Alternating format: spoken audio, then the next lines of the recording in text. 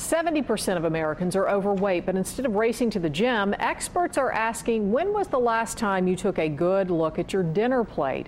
Plate sizes have grown a full three inches from 9 inches in the 1960s to 12 inches today, making room for 33% more food. Well, I don't remember my parents eating this way when I was a kid. You know, I just remember much more sensible portions. And now it's just much harder to eat a smaller quantity of food. Yeah, as a nation, we consume 500 more calories each day than we did 40 years ago, just about the amount of food that we can now fit on our 12 inch plates, which has something to do with our waistlines.